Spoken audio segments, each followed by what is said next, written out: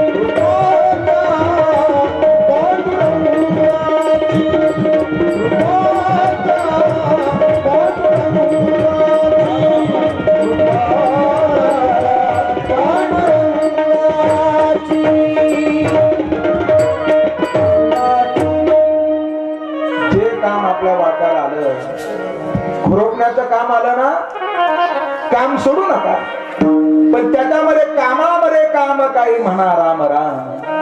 आपल्या वाट्याला धुणं धुण्याचं काम आलं मग व्यर्थ धुणं धुण्यापेक्षा भगवंताचं नाम चिंतन करा. व्यर्थ धुणं धुणं करतो ना आपल्याला आपल्या वाट्याला शेतामधलं काम आलं ना ते आपण करा. पण ते करत असताना लागली से आज मला. गोडी अभंगाची. पण पुन्हा कृपा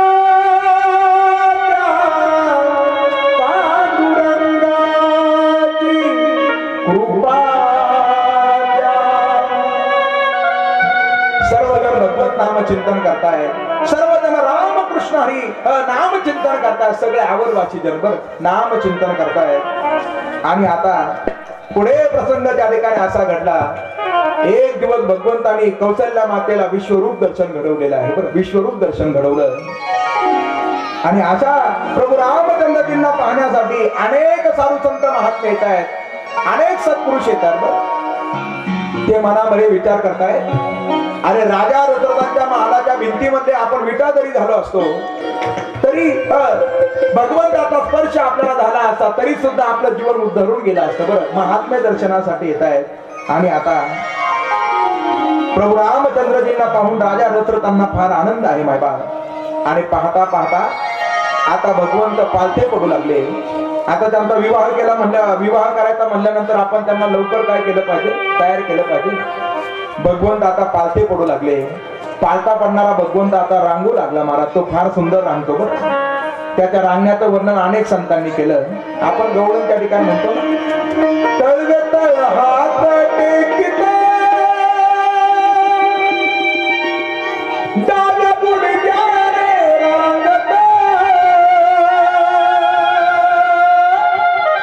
right now.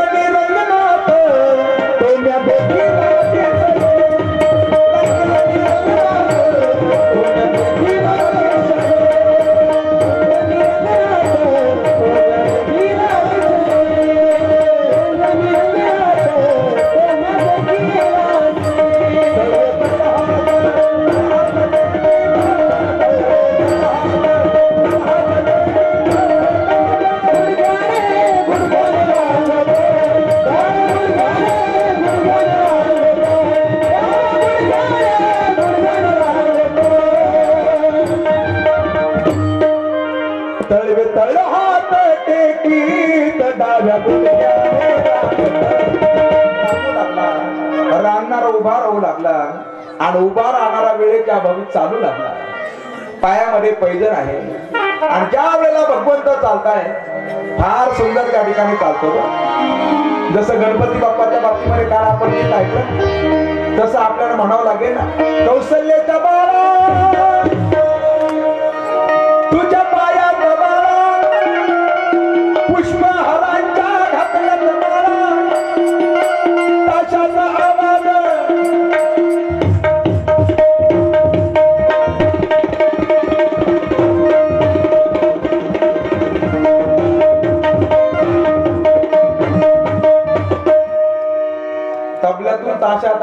ताशात आवाज निघतो आवाज मारला तर टाळी वाजवायचा.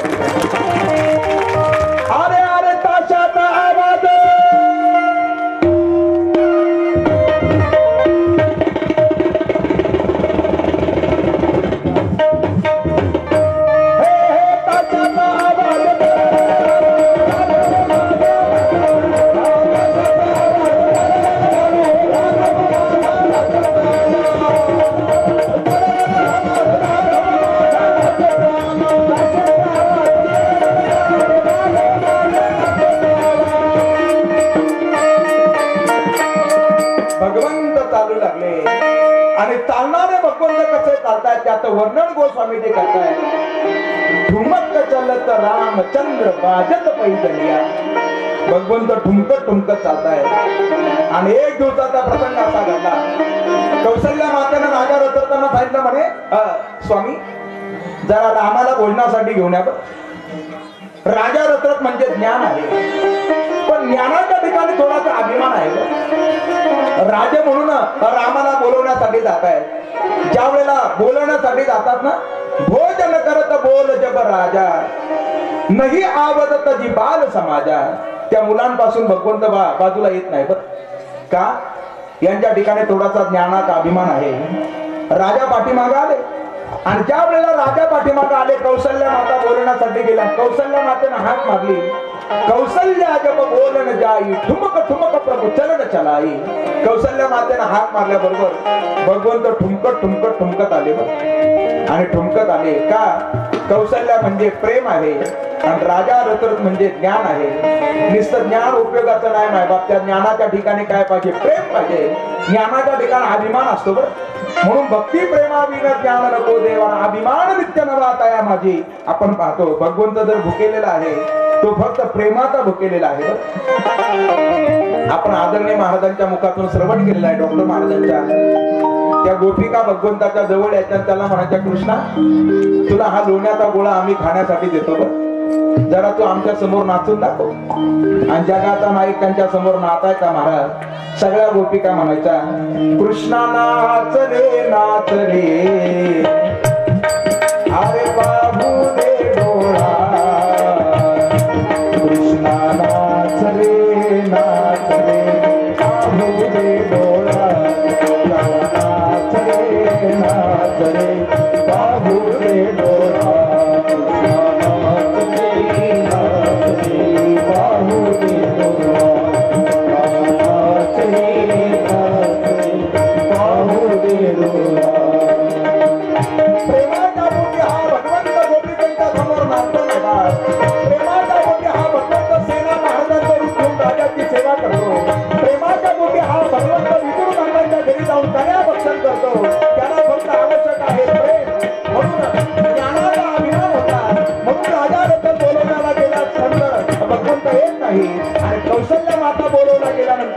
गेल्यानंतर येत आहे. ठुमक ठुमक प्रभू चलन चलाई.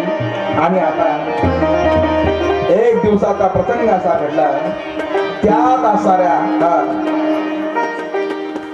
आता भगवंताला गुरुग्रही पाठवलं बरं. कारण जीवनामध्ये गुरुंना फार महत्त्व आहे. आम्ही एक वाक्य ऐकलं बरं. पूजने वंदने आदने प्रातः स्मरणे मोरारी बापूजी त्यांच्या मुखातून ऐकलं बरं. जिसका कोई गुरु नाही उसका जीवन शुरू नाही बरं. म्हणून जीवनामध्ये गुरूंना फार महत्त्व आहे. कबीर महाराजांना म्हणावं लागलं कोण बताये बाट गुरु बिन बडा कठीण? गुरु बिन गुरु बिन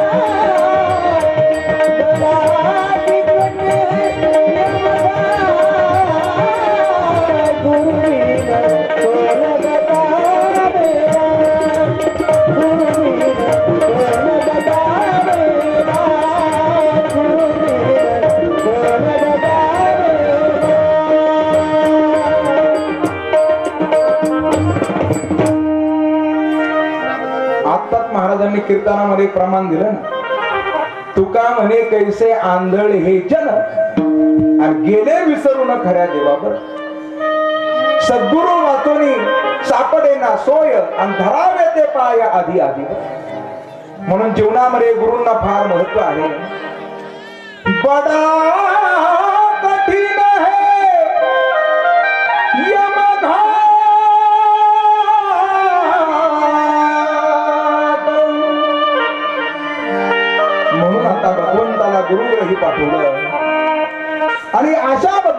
आता वशिष्ठांची शरणागती स्वीकारली बर? ज्या भगवंताचा नाम घेतल्यानंतर प्रत्यक्ष भवपाश सुद्धा तुटून जात आहे तो भगवंत गुरुचरणावरती नतमस्तक होतोय बर? राम नाम करीत घोष तेने तुटे भवपास तेही गुरु वशिष्ठास साध गुरु भक्ती साद आणि आता दोन जोड्या तयार झाल्या. एक राम आणि लखनची जोडी आहे. राम श्यामवर्णी आहे तर लखन गौरवर्णी आहे. बरं. इकडं भरत आणि शत्रुघ्नाची जोडी झाली. भरत हे श्याम वर्ण आहे तर शत्रुघ्न सुद्धा गौरवर्ण आहे. बरं. श्याम आणि गौर अं, या जोड्या पहिल्यापासून आपल्याला पाहायला भेटतात. कृष्णाचा रंग कसा? श्याम वर्ण आणि त्यांच्या बरोबर असणारी राधा सुद्धा गौर वर्ण बरं. म्हणून तर एक दिवस राधेनं कन्हैयाला प्रश्न विचारला जरा इतना बता दे कान्हा अरे तेरा रंग काला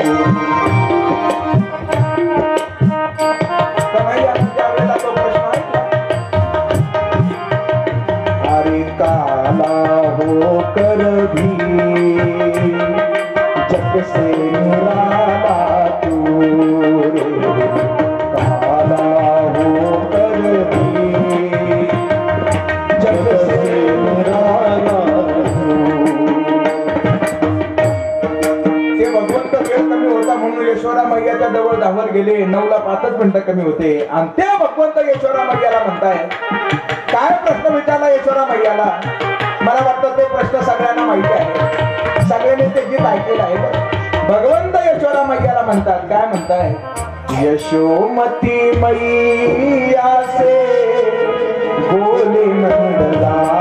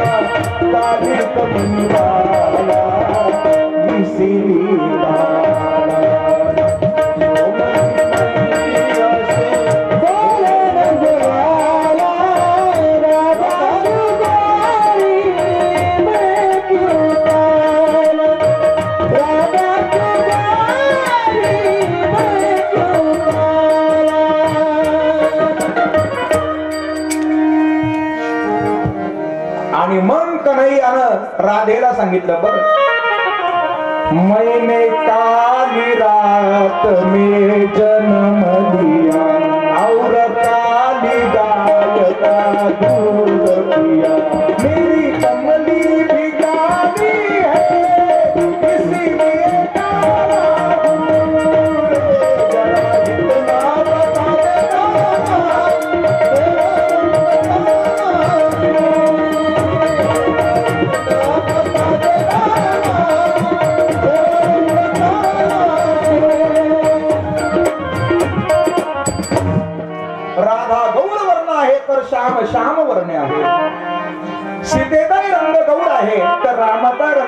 श्याम आहे. येथे त्याच्या जोड्या तयार झाल्या राम आणि लखन आणि भरत आणि शत्रुघ्न. अल्प कालामध्ये त्यांनी विद्या ग्रहण केली. आणि हे पाठीमाग आले. बरं चौसष्ट प्रकारच्या विद्या शिकले. ते लिहिलेलं आहे पण आता एवढं वाचलंय आपल्याकडे वेळ नाही. बरं चौसष्ट विद्या. आणि आता भगवंत पाठीमाग आले. आणि तेथे गेल्यानंतर भगवंतावरती संस्कार झाले. बरं. हे पहिलं कांड आहे. या कांडाचं नाव आहे बालकांड. बरं. आणि या बालकांडामध्ये बाल्य अवस्था फार महत्वाची आहे बाल्य अवस्था महत्वाची आहे. बालकावरती काय केले पाहिजे? आपण संस्कार केले पाहिजे. बरं संस्कार करणं फार महत्वाचं आहे. आपणच आपल्या लेकरांवरती काय केले पाहिजे? संस्कार केले पाहिजे बरं. आपले लेकर त्यांनी दर्शन घ्या आम्हाला. कुणाचं दर्शन घ्यावं? मातृदेव भव पितृदेव भव आचार्य देव भव अतिथी देव भव. पण आता मुलांना नमस्कार करण्यासाठी लाज वाटते लाज वाटते. फार माणसं आता शिकले महाराज एवढे शिकले एवढे शिकले एवढे शिकले फार सुशिक्षित झाले. पहिले त्या ठिकाणी जेवण करत असताना बैठक व्यवस्था होती. बरं सर्वजण त्या ठिकाणी समोर पात्र यायचे आणि मग जेवण करायचे. पुढं पुढं खुर्च्या आले टेबल आले ठीक आहे तिथपर्यंत बरोबर आहे. पण त्याच्या पुढे जाऊन आमचं बुट घालून जेवायला लागले. बुट घालून जेवतात ना माणसं? बुट घालून जेवतात. महाराज म्हणजे आता त्याच्या पुढे क्रांती व्हायला बसली. बुट घालून जेवतात तिथपर्यंत बरं आहे.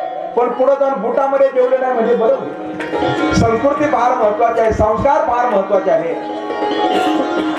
म्हणून आपल्या मुलांवरती आपण संस्कार करा. आणि अशा मुलांना शिकवा मायबाप काय शिकवा? सकाळी उठल्याबरोबर आपण काय म्हटलं पाहिजे? जमिनीवरती पाय ठेवत असताना आपण कोणताच लोक म्हटलं पाहिजे? आपल्या मुलांना आपण शिकवा. संस्कार. राम आणि लखन भरत आणि शत्रुघ्न त्यावेळेला उठायचे त्यावेळेला आपलं नित्य कर्म आटपायचे. आणि दर्शन घ्यायचे. कुणाचं दर्शन घ्यायचे? आई वडिलांचं आणि आपल्या गुरुजींचं गोस्वामीजी म्हणताय प्रात काल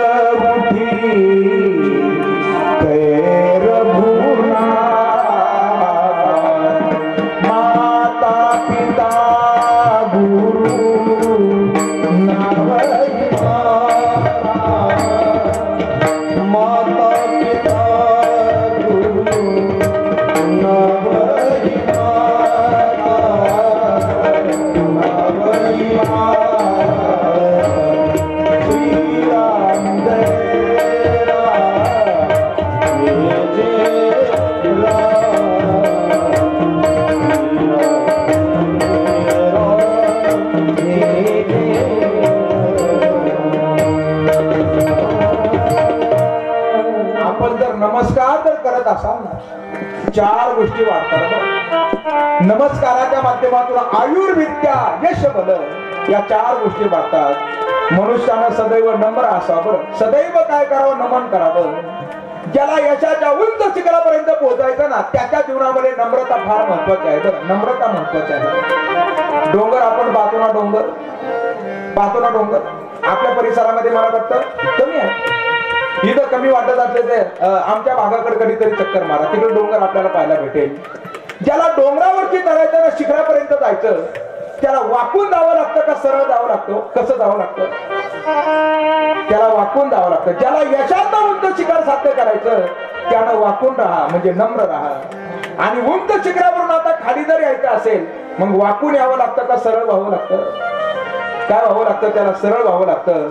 ज्याला वरून खाली यायचं त्यानं सरळ व्हा. आणि ज्याला खालून वर जायचं त्यानं नम्र व्हा. सूत्र फार सोपं आहे मायबा म्हणून नम्र झाला होता तेने कोंदिले आनंदा नम्रता.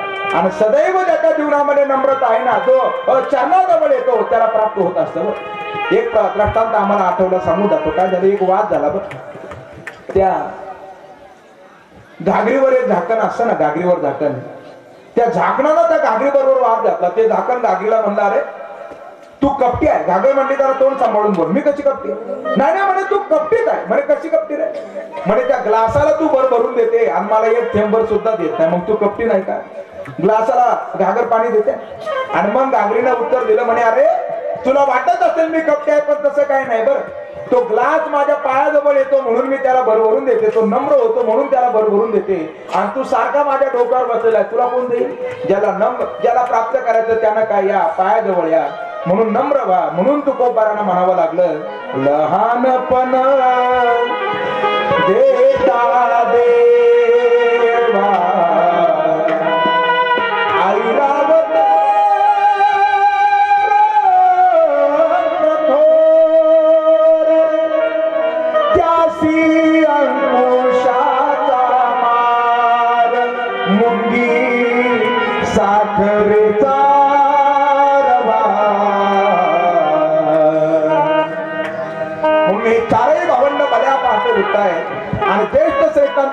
श्रेष्ठांचं दर्शन घेतात म्हणून सुद्धा लक्षात ठेवा. आपण काय घेतलं पाहिजे? दर्शन घेतलं पाहिजे. मायपीठाचं दर्शन घ्या गुरूंचं दर्शन घ्या ग्रंथाचं दर्शन घ्या भगवंताचं दर्शन घ्या. पण ज्ञानोबारा म्हणतात परी लाटनिया ऐसे नव्हे माणसं लाटण्याच्या जातीसारखी झाले. लाटणं कसं असतं? लाटण्यानं काय केलं जातं? बाजरीच्या भाकरी बनवल्या जातात. बरोबर? कालच पीठ दिलं होतं ना सर्वांना?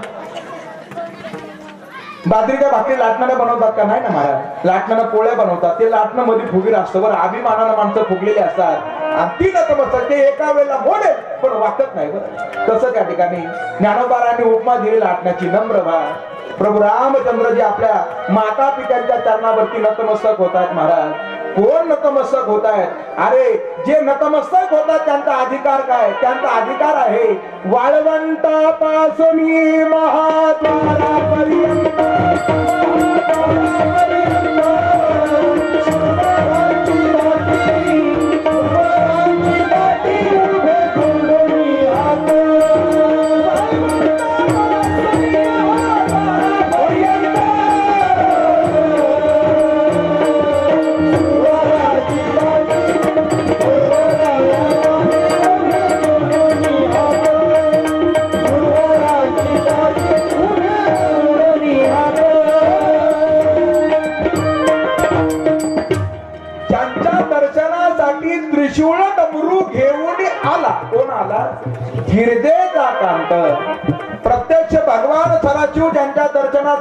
रांगेमध्ये उभे राहतात ना तो जगाचा नायक स्वतःच्या माता पित्यांच्या पाया पडतो. प्रात काल उठी कै रघुनाथा माता पिता गुरु नाव ही माता. असा भगवंताचा नित्यक्रम आहे. आणि एक दिवसाचा प्रसंग असा घडला. त्यात आवरपुरीमध्ये एक महात्मा जे आले. ते महात्मा दुसरे तिसरे कोणी नाही. विश्वामित्रांचं विश्वामित्र महामु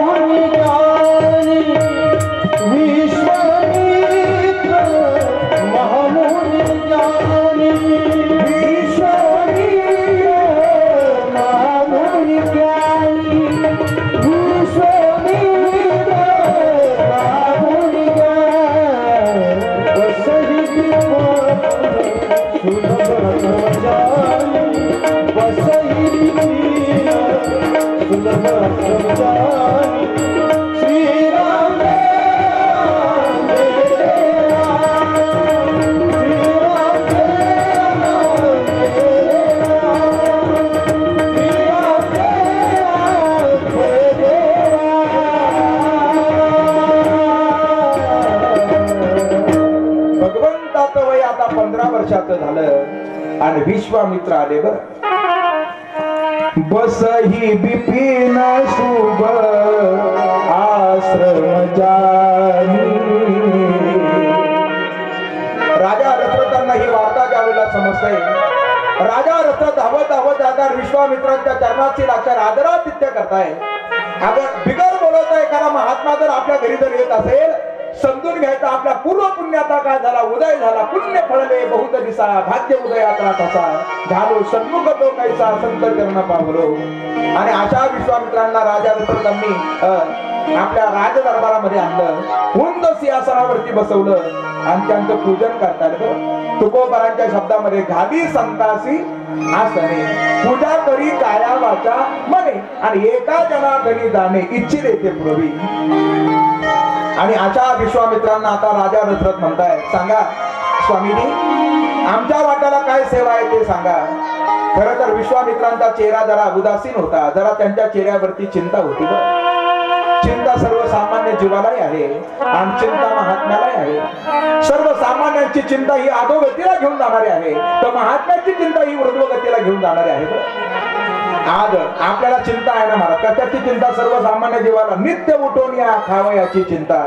त्याच्यातही दोघांना दोन प्रकारच्या चिंता आहे एकाला काय खावं याची चिंता आणि एकाला काय काय खावं याची चिंता?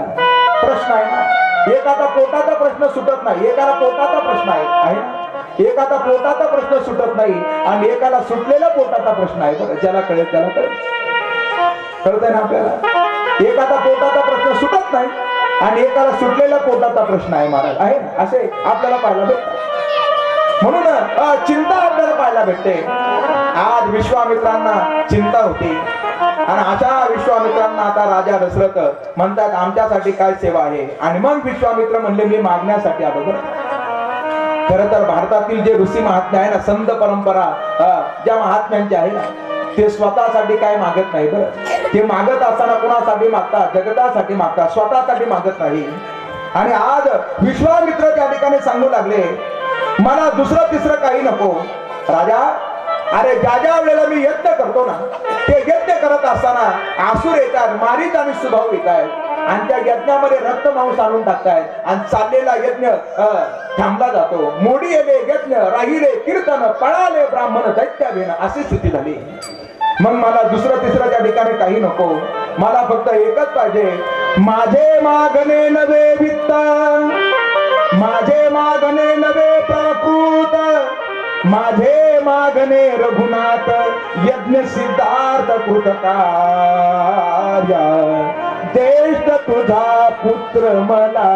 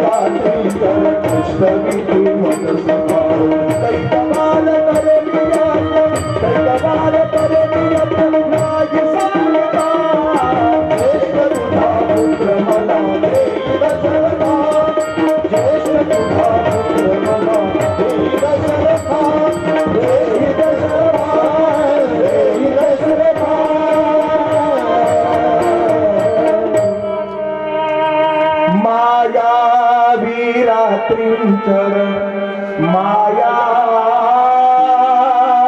वीरात्रिंचर कष्टविती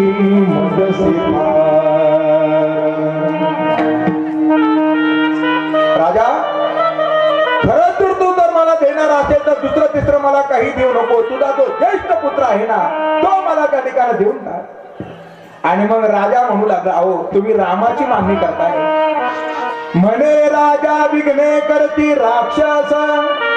मनुष्य मारक कर्कश राम केवळ बालवेश राजस.